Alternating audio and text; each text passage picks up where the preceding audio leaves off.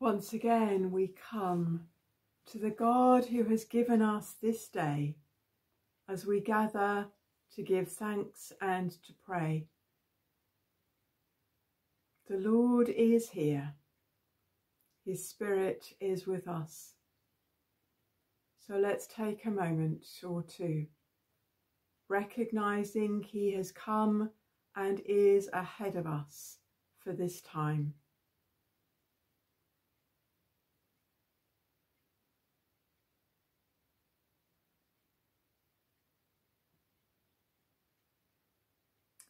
Romans 1 verse 7 Grace and peace to you from God our Father and the Lord Jesus Christ. The Lord Almighty grant us a quiet night and a perfect end. Our help is in the name of the Lord, who made heaven and earth.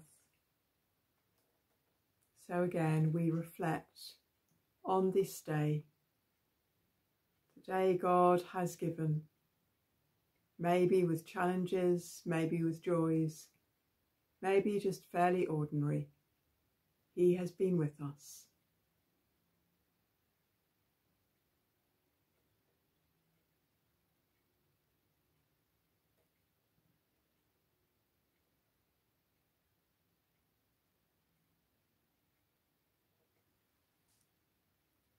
Save us, O Lord, while waking, and guard us while sleeping, that awake we may watch with Christ, and asleep may rest in peace. Psalm 41, verse 13. Praise be to the Lord, the God of Israel, from everlasting to everlasting. Praise be to the Lord, our God from everlasting to everlasting. How easy do we find it? Do you find it? Do I find it? To praise God all the time. As life goes on through each day, having God's praise on our lips all the time doesn't seem a possibility. We're also called to pray on all occasions and yet we have life. Life carries on. But what do we notice? How do we keep coming back to recognizing that God is worthy of our praise? Some of us are those who are glass half empty people. Others of us are glass half full people or very full. And this can be a challenge too.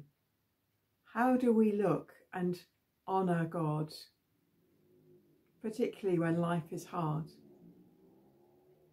My experience is that the more we look to God, the more we look for good things, for the things of his kingdom, for things that are his nature, and turn those to praise, it changes me.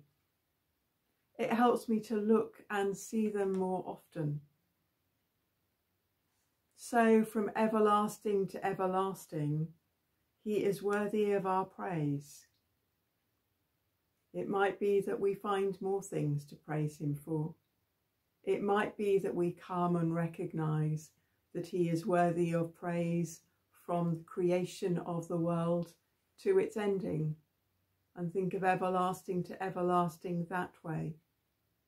Whatever we do, though, let's ask Him to help us to praise Him, to look, to notice, and to be changed ourselves as we do. Loving God, help us. You who alone are worthy of our praise. Thank you.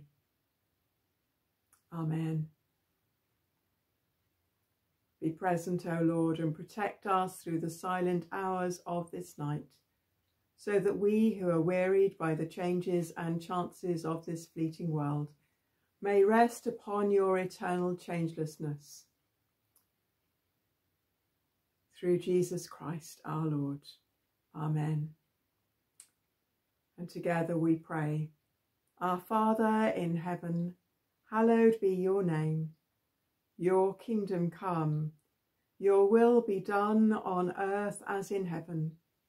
Give us today our daily bread. Forgive us our sins as we forgive those who sin against us. Lead us not into temptation, but deliver us from evil. For the kingdom, the power, and the glory are yours, now and forever. Amen. In peace we will lie down and sleep, for you alone, Lord, make us dwell in safety. So may the one who makes us dwell in safety, who holds us in love and peace, assure you of his presence and his love this night. Amen. Bless you and sleep well.